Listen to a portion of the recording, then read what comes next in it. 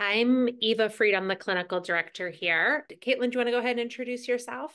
Sure. Hey, everybody. Thank you all so much for being here. I'm Caitlin Rivard, and I'm the clinical advisor for the midwifery and the women's health program for the students kind of east of the Mississippi. So it's not an exact science, but we kind of, there's kind of a line there that we divide it by. So if you're in the eastern, south, south, eastern, north, any anywhere east of the Mississippi, I'll be glad to see you.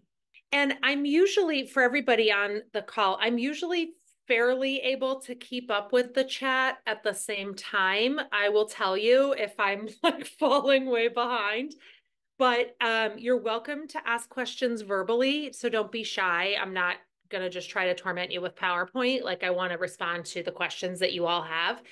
But you are welcome to put things in the chat. And those of us from Frontier who are on the call will respond to them in real time or sometimes we'll you know say oh that's something we're just going to respond to verbally. So you don't need to like sit on your hands until some special q&a later because the q&a starts now.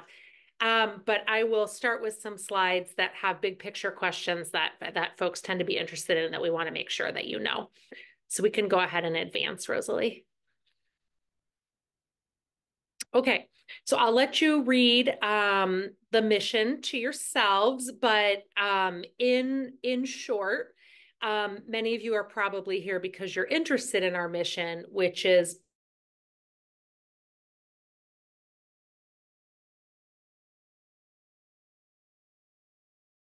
particularly those in rural and underserved communities. Um, but there are certainly individuals who are in need of our care anywhere that we go. And this is a picture of actually two things that are special at Frontier. One is something that we call circle up, and you don't have to touch. These people all were happy to lock lock arms, but if you're like, I'm not going somewhere that I have to hold hands, that's okay. You don't have to. Um, so uh, circle up is a way that we build community that um, creates a scaffolding to support you even when you're working in your home community on your studies.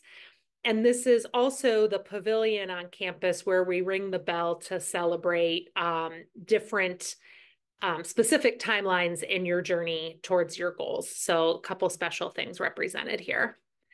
Next slide, please. Okay, so um, as you all probably know, most of your education at Frontier takes place at a distance, and that's purposeful. We started distance education before there was even, you know, home internet. Um, so the idea was that midwives and nurse practitioners would be trained in their home communities so that their home communities would have a new midwife or nurse practitioner. We didn't need, um, at the time, um, Hyden. I couldn't think of the name for a second. I'm so stuck on Versailles. At the time, we're in Versailles, Kentucky now, but we didn't need Hyden in Kentucky to have, you know, 4,000 new nurse midwives and nurse practitioners. We needed those folks all over the country. So we found that if people trained in their home community, they stayed and served their home community. And so that was really the origin of our emphasis on distance education. So you make two trips to Versailles, Kentucky, one at the very beginning and another one at the point between your classroom coursework, which we refer to as didactic, and your clinical training. And we'll talk more about that in the program of study. So, two trips to campus, um, and we really focus on making those something that couldn't possibly happen over Zoom because we know that there is expense and time away from family involved in making those trips. But we really believe and student feedback uh, reinforces that those times on campus really scaffold all that time away and keep you from having that sense of isolation that you know could otherwise be possible. Next slide, please. So um, if you can believe it, we've been doing this for more than 80 years. Um, students and alumni in every single state and many places around the world.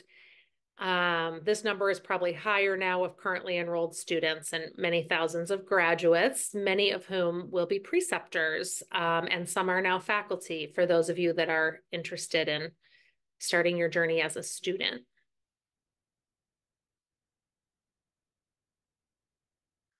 Um, lots of great awards. I have sweatshirts with all of these different logos on them, and I'm proud to wear them. True story. We've gotten awards for our diversity efforts, being a great place to work. and uh, really being a strong leader in distance education.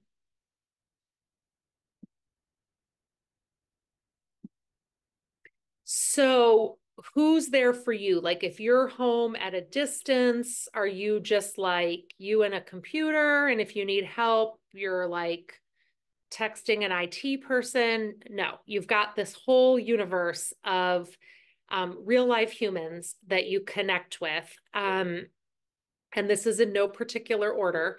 Um, but you've got regional clinical faculty who that's the team that I lead. Those are the faculty that take care of you in the clinical portion of your program.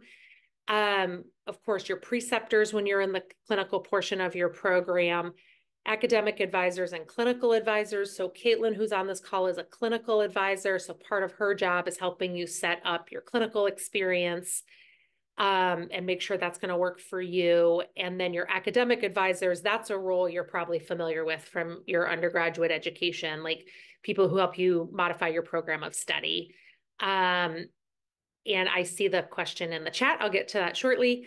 Um, lots of mentoring groups. There's folks that work in financial aid and admissions. Um, we have a great library. As you can imagine, almost everything is available online. We have three full-time librarians who are happy to meet with you and help you navigate that system. You're really not just like out there with a keyboard. Um, we have a diversity impact program. And in our courses, until you get to clinical, there's no um, synchronous element to the courses that's at a specific time of day. So it's not like you have to like go to class like you're here now. It's not like every Wednesday at 5 you have to be online. For the classroom portion, there will be um, elements that you have to be online at a specific time for in every course, but those are posted at the beginning of the term and there are selections many times throughout the day and many days of the week because we know that one of the reasons people choose online education is that they're working and we know a lot of nurses work at night and they have family responsibilities. So you will have choices for when it works for you to participate in those experiences. So the only times you need to be available at a specific time consistently is when you're choosing which weeks to come to campus and then when you get to the clinical portion of your program. So I should, even though it'll be on a future slide, I'll just say right now that our program is set up different from or differently from most um, advanced practice nursing programs, which is that you do all of the coursework. So pathophysiology and pharmacology and advanced health assessment and the management courses for your specific track. So antepartum care, uh, postpartum and newborn, gynecology, all of those courses are done first. And only after you've completed all of that, you make your second trip to campus and then you just go to clinical. And there's coursework and a faculty member and all of that stuff involved in clinical, but the going to clinical part is separate from the going to courses. You're not like in your gynecology course and doing gynecology and clinical at the same time. So for the most part, um, both students and their preceptors find that to be beneficial because the very first day that you go to clinical, you're prepared with everything you could possibly do. Of course, you don't know how to do it all yet because you're still a learner, but you've been introduced to all of it. So I'm going to pause and come up for air and respond verbally to what I see in the chat and give you all a chance to kind of digest what you've heard so far. Um, we do accept students from Arizona. Our only limitation is New York State. Um, we, the state of New York limits the number of students that um, can be accepted at a school that's not brick and mortar in New York State um, for midwifery specifically. And we do have postmasters programs, both for midwifery and for women's health.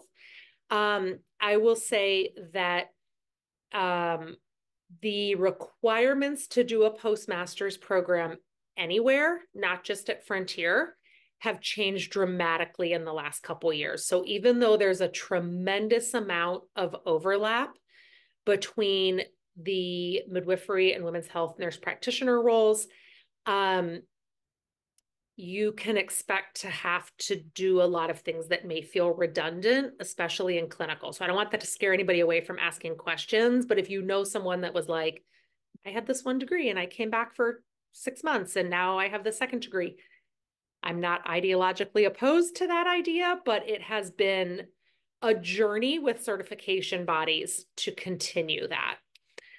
Um, yes, and I will concur with Caitlin in answer to Sierra that yes, you don't have to go to clinical in the state that you live in, and you don't have to do your clinical all in one place.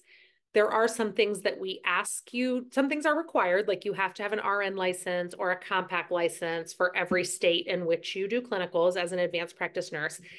Um, and there are some people that require you we require you to communicate but yes you you are not limited. And that's common that people are like i need to go where my parents are so they can help me with childcare or something like that. Um can you enroll as non-matriculating? That's a good question. I don't think so but an enrollment coordinator would be the person to talk to about that. And if somebody uh, else on this call knows the answer please reply. Otherwise um, you will have access to enrollment coordinators to talk to after this call. Dr. Freed, yeah. That that class is available as non-matriculating. Oh, thanks, Bobby. Okay. No Good thing there's so many of us on the call. Okay. So Jennifer, yes, you can do that. Um, and then if you applied for admissions with any class that you had previously taken, then the program director would do a gap analysis and look at what you'd already completed and you can apply for that credit to count towards your um, enrolled coursework. Um, it's not so much that there's a wait list for New York, it's about how many we take each term. Um, is there anybody on the call that wants to speak more to the special New York situation? I can. Okay. Uh, yeah, so in New York State, we take six students between the women's health program and the midwifery program per year. So it starts August 1st and goes to July 31st. That's kind of the rolling year that they look at.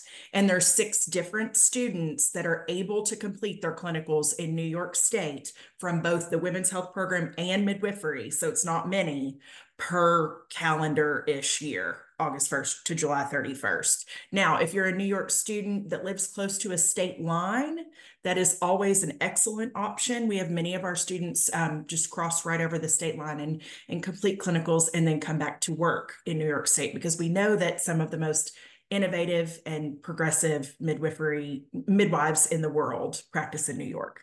so we love for you to bring your education back to the state that you're from, but it's limited to six per year. Thanks, Caitlin. Yeah. Quick, yep, go ahead. I have a quick question. I do live in New York, but I'm also close to New Jersey. Um, mm-hmm. Is New Jersey, are there any restrictions on New Jersey? We love New Jersey. yes, exactly. So if you're close to a state line, really shouldn't be a problem for you. It's not that you're not going to be admitted as a New York student. It's just that, you know, if you're not one of those six, you won't be able to actually conduct clinicals in New York. So I'm gonna. Oh, okay, uh, thank you. Uh-huh. Yeah, thanks for the question, and thanks, Caitlin. I'm gonna chime in and catch up where we are here. Um, so somebody had a question. Now I've replied so many places. I have to get to where I left off.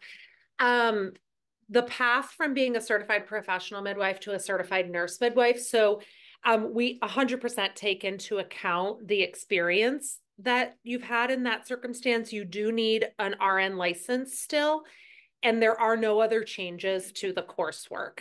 So people come, you know, to nurse midwifery with all sorts of backgrounds. So the background as a CPM is obviously enormously beneficial, but it doesn't relieve any of, of the courses in our program. Um, okay, answered that one, answered that one. Restrictions from California. New York is the only state that has restrictions. So nobody else in any other state needs to be worried about a state specific res restriction. Um, Lisa says, I know you don't have the dual program, but what would it look like to do both?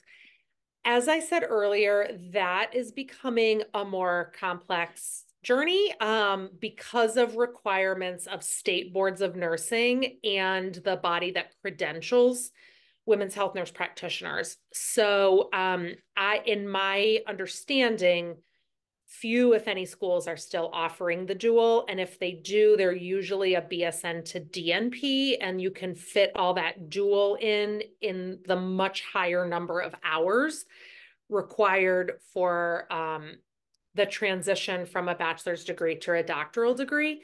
So I'm happy to have more one-on-one conversations about that, or if we have more time at the end of this meeting. The other question is sort of kind of ideologically, why do both? Sometimes it's economically driven, depending on where you live or what your long-term career goals are. Um, but a lot of people, if you're thinking about doing both, can find that your goals are met with um, doing the nurse midwifery degree. Um, with a postmaster's, is there a good transfer rate? There is a limitation, a good transfer rate previously taken classes. There's a limitation on the number of credits that can be transferred no matter where you go. For a postgraduate program, but we do make a modified program of study, including the clinical requirements that make as much sense as possible within the confines of any graduate school that's going to issue you a degree is going to require a specific percentage of the courses be taken at that school. Um, so I don't think that you'll find it to be different than, you know, another similar school. And we absolutely modify. So like say you're an FNP and you're coming for postmasters, like we do modify, like you don't have to, you know, go see hundreds of primary care visits. Like we want to make the most sense of your time here. Is the university catalog available for viewing uh, if you're not in the Frontier community? Great question. Does anybody else on the call know the answer to that? Do you believe that the catalog is actually only accessible if you're admitted? Um, I will check on that. And if you just want to pop your email into the chat here, I will get the answer to that and get back with you. Thanks, Caitlin. Uh huh. Um, the next question is, do you have to reapply for the DNP program after completing the WHNP program? So that really the answer to that depends on when you complete the WHNP program, um, because that is like a little bit of a shifting environment as well. Um, so right now, if somebody, if any student who's been successful in a master's level program, essentially has guaranteed admission um, to the DNP program for a certain period of time following completion of the one program. Um, it's no longer like one fluid thing. So you do reapply, but you're essentially guaranteed admission if you've been successful in the master's program. I can't promise that, you know, for somebody that enrolls for late this year and then takes two years to complete the master's, that that would still be the same situation. But we're definitely in the business of helping people be successful in meeting their goals. Um, I mentioned that women's health postmasters has changed over the years. Does that mean it will affect the chance of admission? Can you tell me more about what you mean? Feel free to unmute and just uh, respond. I think that's from Ting. Oh, hi, Dr. Fried. Um, so sorry um, about confusing. So what, okay. I, what I'm trying to ask is, um, because you mentioned the um the woman health postmaster like mm-hmm. has been changed over last several years yeah. um i just don't know at, at that point because i'm i'm getting my fnp and i'm i'm about to graduate so i i don't know what's the chance um to to like get into i trying to apply the fall semester like this year um i just want to know like uh what's the chance um i i have to get into the Oh yeah, women health not, um, as opposed to Sure. And definitely circle back if I don't answer that question um, in the way that you're asking. But I think the I think the answer to what I'm understanding you to ask is it's not going to affect the chances of admission. It's just that if you know somebody that did a postmaster's like maybe two years ago, the postmaster's looks different now than it did then. Um, mm-hmm it's a little bit more laborious um, but again that's that's based on what um, in state boards of nursing are requiring and what the body that certifies women's health nurse practitioners which is called the ncc what they mm-hmm. require right. um, but when you meet with an admissions counselor and when you look at our programs of study here tonight it'll reflect mm-hmm. what you could expect when you um, apply okay um, the next person says, is there any flexibility for frontier bound if the student has the circumstance to attend the bound? I'm not 100% sure what that means, but what I there are multiple dates to attend frontier bound and then there's multiple dates to attend clinical bound each term. So we work with you to find the dates that work for you, but everyone is required to come to campus for both of those. Um, and we do have accommodations, you know, for people that require any kind of like disability accommodations or anything like that. We certainly um, have those. Um, clinicals have to be done. Oh, I see. I already answered. Have to be in the U.S. Okay, I have an MSN in public health. Um, so you can, just like anyone else applying that already has a graduate degree in anything, you can certainly apply to have those credits count towards something in your master's program. Um, the difference between public health or some of the other masters in nursing, other than advanced practice nursing masters, is that I wonder if some of those courses would actually count more towards the DNP than towards the master's because the master's degree is very focused on providing care to an individual rather than care to a community. So I don't know what there would translate. Um, but you're certainly welcome, you know, to request a review. Um, how strict is the one year of RN experience? Um, yeah, with what you said, Heather and Aaron, just go ahead and apply and we would take all that into account. How do you accept transfer credit for advanced patho from another university? you so Emanuela, you um, there's a process once you accept admission. Uh, if you were to have an offer of admission and then you accept that offer of admission, then there's a process where you submit your prior coursework and and request um, credit for that. Are you responsible for setting up clinic for yourselves? I know Caitlin already replied. Um, so yeah, students are um, you know, the experts in their own communities and we have faculty in most states. We have regional faculty that specialize in the clinical portion of the program, as well as um, clinical advisors, including Caitlin, who are not physically located in other parts of the country, but have an expertise on um, clinical preceptor availability around the country. And then we also have something called the community map, which you can utilize to start, start your journey. Uh, okay, Bobby answered the next one. Do we have to come to Kentucky? Yes, you have to come to Kentucky twice during the program. Um, is ADN to MSN an option? Yes. Isn't that amazing, Jennifer? We are unique in that way that if you you need an RN and a bachelor's degree. That bachelor's degree can be in nursing. You can have a BSN that covers both. But you can have an RN and a bachelor's in I mean, my first bachelor's was in gender studies. Um, so, and I went to school with an RN and a bachelor's in gender studies. So, absolutely. Um, would we just apply for the postmasters? Well, you're going to get a sneak peek of the program of study, Amanda, here shortly. Sorry, my cat's feeling feisty. Um, you'll get a sneak peek of the program of study. You don't need to apply to see the program of study. We'll get there tonight. How strict? We talked about that. Active duty RNs and clinical locations. Unfortunately, we are not currently offering the opportunity to do clinical on an international military base. Um, but we are extremely accommodating if folks need to take like extended leaves from school when they're deployed and that type of thing. But um, if someone is domestic, are there any hurdles in terms of clinical placement um, and possibly um, what that would look like in terms of being on base or not? help me understand a little bit more about your question. Um, so if I have an act, like if I have a RN and I'm active duty and I'm practicing as a registered nurse on a military base, yeah. Mm-hmm. and I can get clinical placement on a military base. Oh, does yeah, we do that all the time. Frontier. Oh, okay, great. Yeah, we the lots of sites on our community yeah. map, Casey, that are on military bases. We oh, thank you so much. Thank you. Yeah, yeah. no worries if you see the site and you can act, you'll only have to be able to access the community map once you're enrolled. But if you see the site on the community map, there's a good chance we already have a contract with them. Um, but the only thing with military sites is, as you can imagine, if you're in the military, contracts take a long time. And so we just want to get those started sooner rather than later. Um, required trip to campus, uh, you pay a, min- a nominal fee. It includes your housing and meals. But if that like totally creeps you out and you don't want to stay on campus or like you want to bring somebody with you, you can request to stay off campus, but that's at your own expense.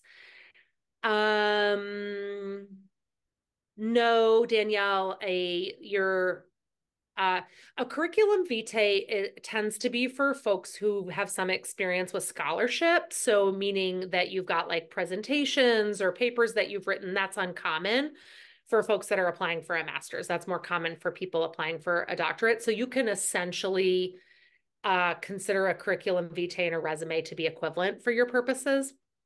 And no, we don't trash your resume if it doesn't exactly fit the format on the website. So, nope, just show us who you are and, and why you're interested in coming to Frontier.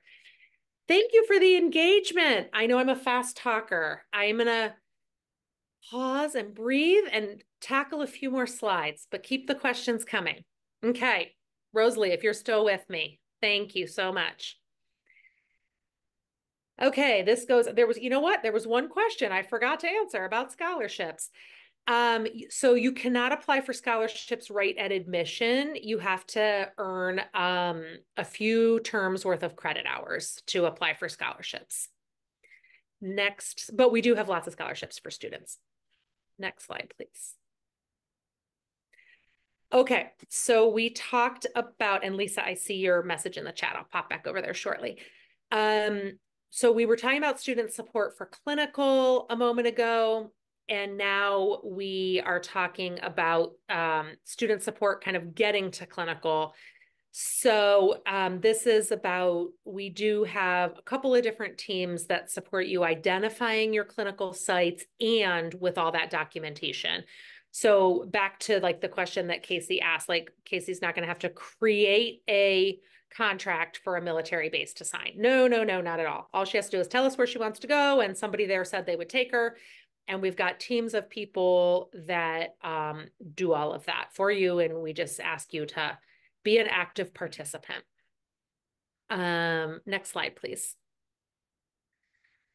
Okay so some of the faces that you'll see on your team usually dr thrower is here with me tonight our department chair and but she is traveling home right now from a conference in new orleans so she wasn't able to be with us.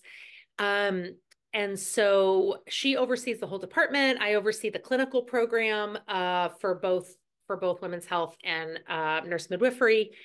Um, every course that you take in the didactic or classroom portion of the program has a course coordinator who's responsible for all the content in that course, um, as well as course faculty who oversee smaller groups of students so that you got, get a lot of engagement.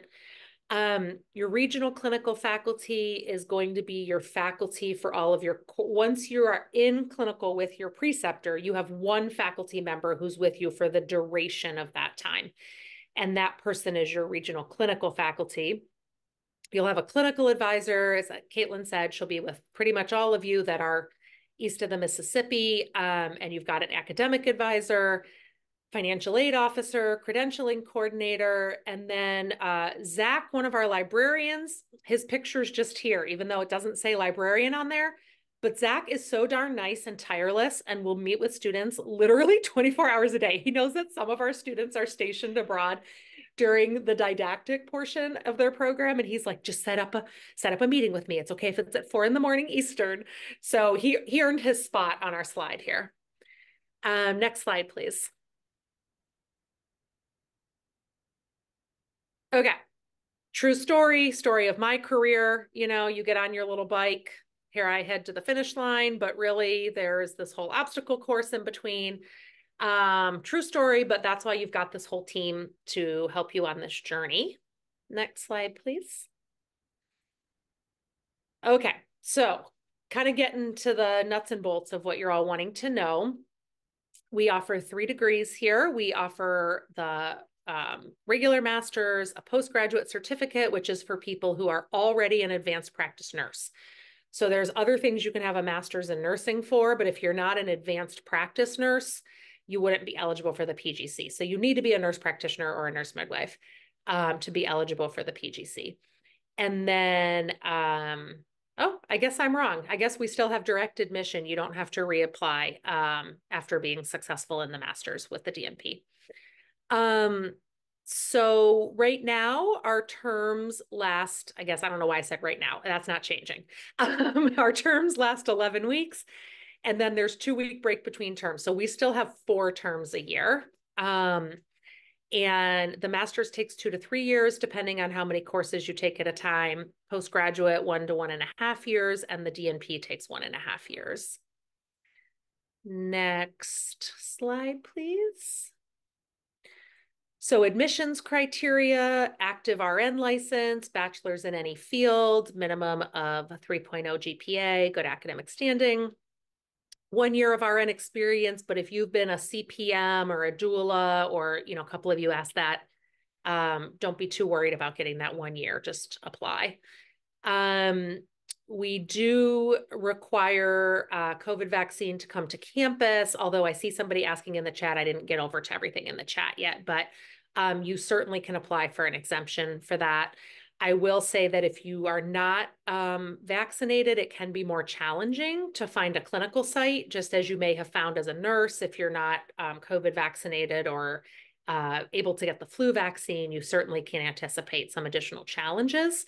Um, but you can certainly apply for an exemption for coming to campus. And we talked about New York. Next slide, please. Um, talked about that. I think I've covered all that. Next slide, please. Um, yeah, I talked about that. I have a tendency to just know what's coming and I just say it all. okay. Um, okay, I'm going to pause here and go back and uh, tackle some stuff in the chat. So Lisa asked, um, what kind of tutoring or editing support do you offer? So we do have tutoring. Um, as you can imagine, most students take advantage of that during pathophysiology. that tends to be the most challenging course. Um, and we do have a variety of options. It's not like in your bachelor's where there was like a physical place you could go that was like a writing center. Um, but we do offer tools like Grammarly that you can access um, for free via the university that can help you with editing. Um, okay, yeah, so that's my answer to that. Um, if you stay off campus, I see Bobby answered that. Um, we do still actually require you to come to meals on campus because your day is full on campus, uh, becoming part of the community. So you're not, you don't have to sleep there. You can request an exemption to sleep off campus. But I think I'm merging the words exemption and exception into like one word. So you all know what I mean. Um, but yeah, so that's why we still require the fee. Do you stay with your cohort? So, Heather, um, that varies because as you saw, it can take two to three years to progress depending on how um, how quickly folks progress. So, if you start with a friend and you both take the same number of credits every term, then yes, you would stay with your cohort. Um, but not everybody does that. Um, typically where you make your really strong connections is i mean you, people make connections throughout the whole program but the group that you come to clinical bound with tends to progress together. So when you come to frontier bound there will be multiple specialties on campus at the same time. Like there'll be people doing psych mental health and family and you know women's health at one frontier bound. And another frontier bound will be you know midwifery and psych mental health or whatever. So you'll meet people there who will be your buddies during the didactic for sure because again in you know pathophysiology there's folks from every track. Um but when you come to clinical bound you're on campus for a whole week and it's a deep dive specifically for your specialty track and those folks will likely progress along with you for the final like 6 to 9 months of the program um, okay, Bobby responded to that. The three P's for people who have not gone to graduate school before in nursing, that's um, pathophysiology, pharmacology, and advanced physical assessment.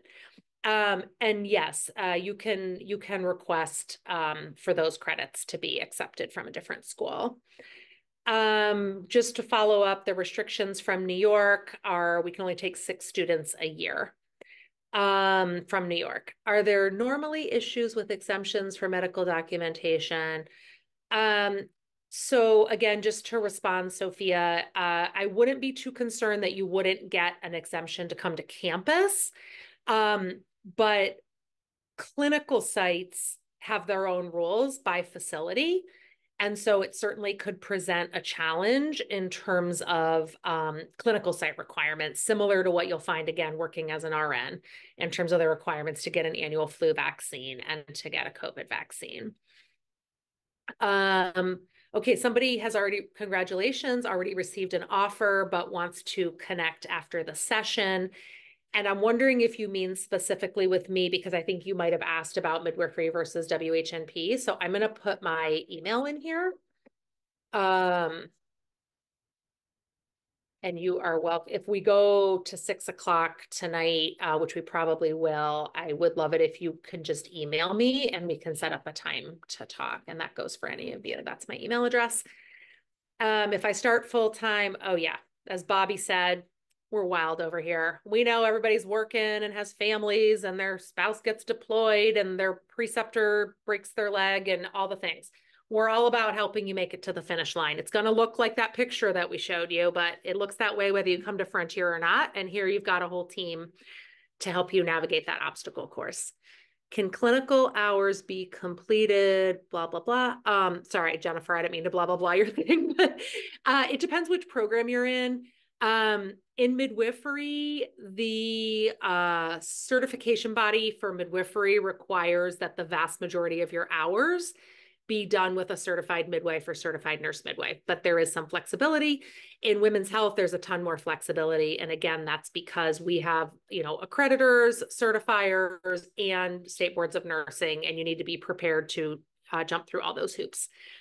I've applied full time. If it's too overwhelming, can I switch? Absolutely. And then you can switch back because we're super flexible. Okay. Next slide, please. Application deadlines. This all you can see online. And of course, we're forthcoming about what it costs you to attend the program. Next slide, please. And I see your question, Erin. I'll pop back there shortly. Um, when you get to the clinical portion of the program, you will need a minimum, whether you're a master's or postgraduate, you'll need a minimum of 750 clinical hours. Um, and no one is going to be done in 14 to 16 weeks. It's just that we want you to know that, like, it's not okay to say, I have somebody that will let me work 24 hours a day. So I'm going to be done in five minutes. You're just not going to learn that way. So I've never had somebody suggest that they could possibly do 750 hours in 14 to 16 weeks, but we're just letting you know, even if it was humanly possible, that's going to be a no because you need to like integrate what you're learning. Um, and midwifery in particular is also has visit type, actually, they both do have visit type requirements as well as competency requirements, which means that you need to meet the minimum number of hours, you need to meet the minimum number of visit types, and you need to demonstrate entry level competency. Those things are all built so that the three things are meant to happen in unison. So it's unusual that you would have one of those things done and not the others. Um, but it isn't just, I did my 750 hours, so now sign my paper, bye. You have those three things that you have to achieve, but they occur in concert together. Um, Lamaya is asking, is there a certain number of hours each week? Yes, there is a minimum number of hours each week um, that depending on which portion of clinical you're in is going to be between 20 and 30 hours a week. You can go more, certainly. You can be like, I'm taking the summer off from my job and I have childcare and I want to go 45 hours a week. We will discuss. Um, but the minimum is between 20 and 30, depending on where you are in the progression. And Erin's question is what kind of support is there to prepare for our exams after graduation? There's an entire course for that. So you're prepared throughout the program, but then uh, there is built in at the very end of the clinical portion of your program, your last term here, you will take a one credit hour course that is specifically to prepare you for boards. Is it possible to work full time? Yes. Um, it is possible. I would uh, not encourage it if you also have a lot of family responsibilities. Um, but it is it is possible and lots of people do it. Yes, including the clinical portion. Next slide, please. Oh my gosh, now you get to ask questions. I, I've been blabbing. Um, so hit me with some other questions that you have.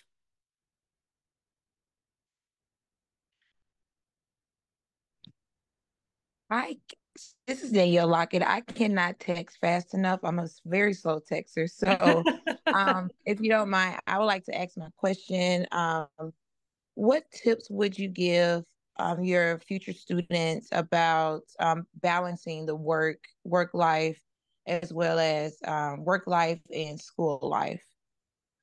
Yeah. So, um, right. So this midwife one is specific because you like go to school at night and then you work at night, right? Where that's less common for somebody in a WHNP program um, and a WHNP lifestyle.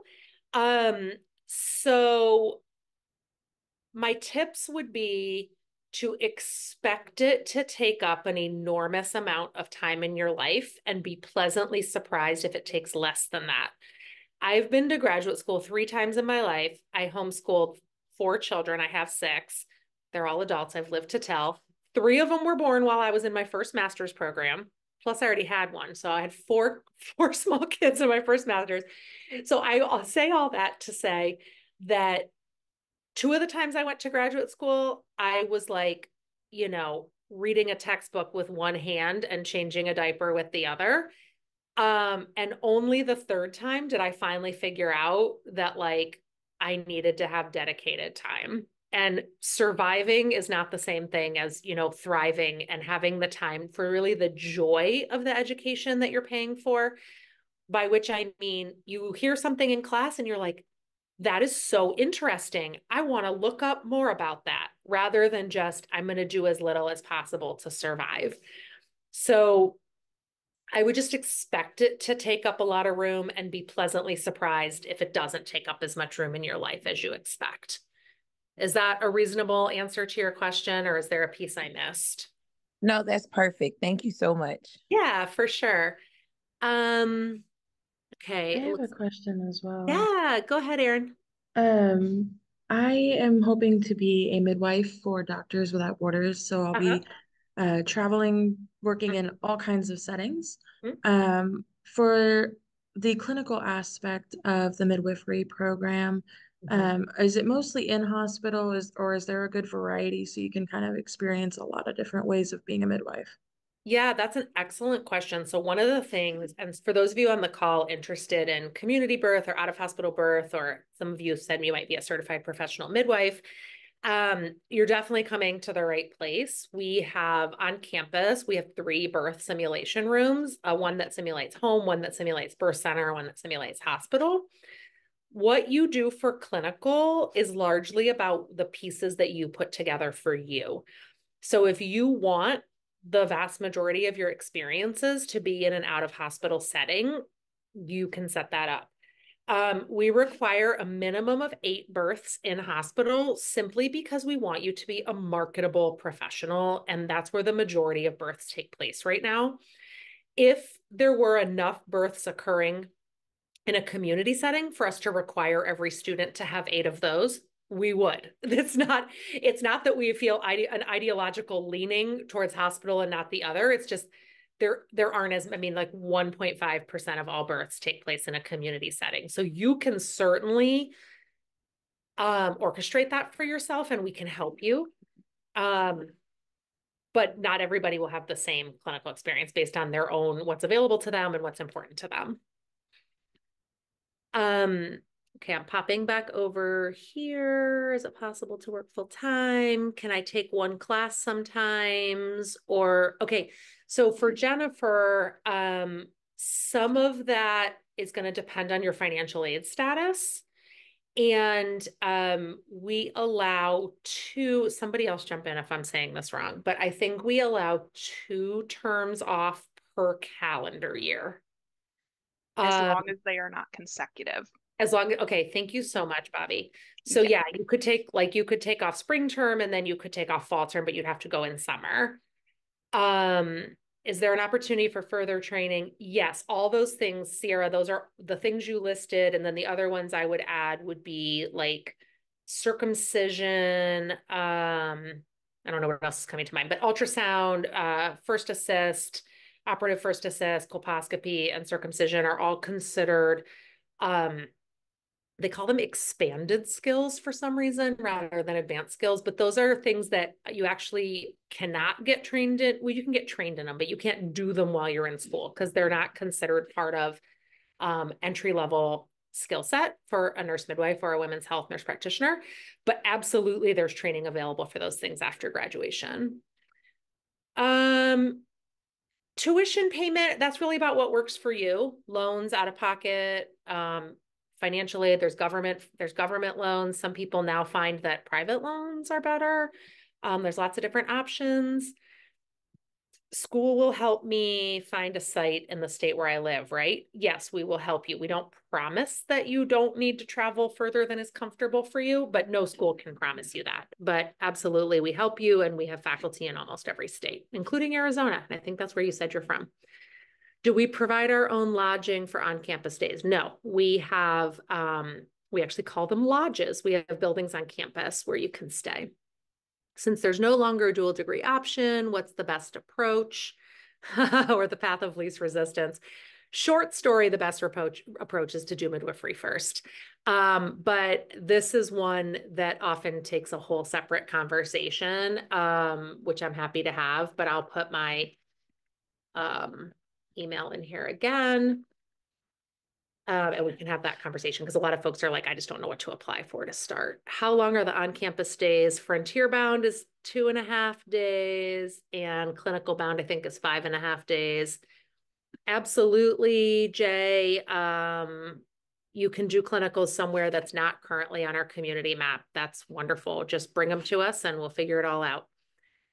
Um, can a nurse midwife is ECV external cephalic version? I think that's what you're asking. And I think that um, that depends on your facility. And I'm very triggered by that, y'all. I'm just going to say, because that was worse than labor. And I'm like, Caitlin's not a midwife and she knew what that stood for. So there's a backstory. okay, Caitlin, we'll, we'll hug after so we can kind of decompress. Um, okay. I've been doing research about midwifery. There's a higher hospital mortality rate and complications here in Florida. 100%. If there's not more uh, expansion of midwifery in the future to address the maternal mortality rates, Josette, then somebody's not listening. So, yes, none of you are going to have trouble getting a job. Do we provide resources for external scholarships?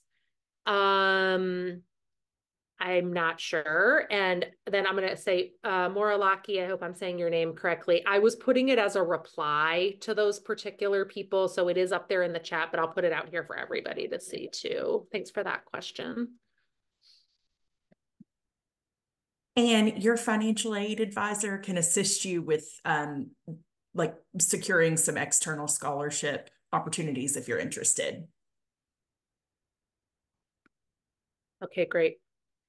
Um, I can't remember. Are there more slides? If not, I can answer some of these other questions. Oh, this is our cute campus. It's so pretty. It has acres and acres of walking trails and there's food 24 hours a day. I am somebody that like panics about access to food when I travel, but your badge will swipe you into um, the dining hall 24 hours a day. There's always ice cream and vegetables and salami sticks for those of you that want to eat that instead of ice cream or vegetables. there's and then there's um, three hot meals a day. Okay. Other questions that people have?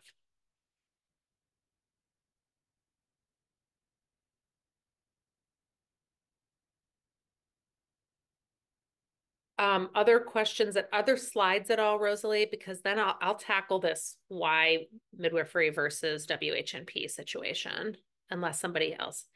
Oh, Lisa, that's a great question. What are we looking for in future students? We're looking for future leaders. And that doesn't mean that you have to be extroverted to be a leader, but somebody who's going to go out and show the world what a nurse practitioner or a nurse midwife can do and take care of their community and the folks in their community. And Caroline's asking, I applied, when would I hear back? And also, what's the best timeline to apply? Yes, I was just going to reply in the chat, but I can just reply this way. Um, so once we receive all of your application materials, so that's your application, um, your resume, your essay, your license, your transcripts, um, your application gets submitted to the review committee, and then you typically get a decision within about four weeks, and that comes through email. And then what is the turnaround time? Best time to apply if you hope to start in the fall. When should you apply? Um, so application um, opening dates, deadlines, start dates, it's all on um, the website, but just something to kind of help you remember is that um, whenever a program is, or whenever a course is starting, that application opens up about six months before it and closes about three months before it. So for fall classes, they start October 7th. So that application opens up on April 4th and the deadline to apply is June 26th. Um, so you wouldn't be able to apply until the application opens for fall. If you were to start applying now, the system would assume you were applying for summer since that's the op op excuse me open application right now. And then Bobby, can you take the next question about number of applicants? And I'm going to start to answer the other ones in the chat. Yes, so there is a maximum number of um, applicants that they can accept per term, and a lot of this has to do with those campus visits. Like we mentioned, um, students stay on campus in those um, lodges, so there's only so much space. So a lot of that has to do with the space for those campus visits. So, um, and it varies term to term, um, how much space they have in the program. You think about, you know, how many people have graduated out, things like that. So um, yes, there are certain numbers that can be uh, admitted. I'll just stop typing and re- thank you. Reply verbally to Josette's question about can a spouse attend campus orientation? So they cannot. Um, they can come on campus to like see it, but they cannot um, sleep on campus or attend meals. And the reason is um, not to be like, no, you can't come here, but to foster the connection among students. Um, so, but some people do choose to stay off campus so they can stay overnight with their spouse or whoever else is accompanying them. Um, and yes, thank you, Caitlin, for responding to Sophia. It is complicated, Sophia. Um, and I, I think that you're asking, like, what if you already work in that setting um, and you're not trying to go there as a student? Um, but basically that's something you you're welcome to reach out to me and we can talk about it because you might need to decide right like what can i do in terms of my livelihood while i'm also in school. So um, you know we try to be reasonable so feel free to email me and i can help you figure that out. Um, okay heather has waitlist questions. Okay it looks like the next two are for you bobby Got it. All right. So for the wait list, um, you can be on the wait list up to two terms without it expiring. So basically, let's say somebody applies for summer term, um, they get waitlisted for summer term. Um, admitting for summer term is done and they are still on the wait list, they will be moved to the fall wait list. Um, you'll get an email asking you to um, say, yes, I do want to move to the fall wait list. So you would have to reply to that. Um, and then if you did not get admitted from the wait list from that second term, um, then your wait list would expire and you would need to reapply after that. Um, it people are admitted um, in an order. So when they put them on the wait list, they're in a specific order based on how their application was reviewed. Um, so people get admitted in that order. Um, finishing my BSN, graduate in May, to class for summer term. 6:30. Okay, so with the with the application deadlines, um, they are hard deadlines. We have to have everything, including um, official transcripts, with the conferral date and the final GPA on them. So if you were completed by 6:30, our fall deadline is June 26th. Um, so you wouldn't be able to apply for that. You'd have to apply for um, the winter term, which would start in January, and that application would open up June 27th. Ashley has a good question about if I start part time, how many hours a week should I prepare to dedicate towards schoolwork? So there is, it just depends. Part time means different things to different people. So there is a formula for how many hours per credit hour you should expect to do homework, but I would not come back to school unless you think you could spend at least 20 hours a week on school. Um, because between attending class, preparing for class, doing the homework, and preparing for what's to come in terms of like the clinical portion of your program and that type of thing. Um, and the fact that we all think we set aside 20 hours for something, but some of it gets eaten up by something else. I think that I'm I'm making that up on the spot, but I think that's a reasonable starting place for like, do I have enough time in my life to go to work? And that doesn't mean that you only work 20 hours a week. You might work 40 hours a week and have two kids and a parent that you need to help, but could you pull 20 hours a week out of your life somewhere? Like is there a part of your shift as a nurse that you could do some studying? What kind of support do you have on the weekends and evenings to help facilitate that? Um, do you value study abroad experiences on a resume? Sure, we value the whole picture. So, you know, share anything. Um, finishing BSN, graduated in May. Um, yeah, so Bobby's going to go over that with you because we want to make sure that when you're applying for makes sense in terms of that one year of RN experience. Oh, but you probably already have an RN, you're just doing the BSN. Okay. Um, Bobby, can you respond to Lamaya?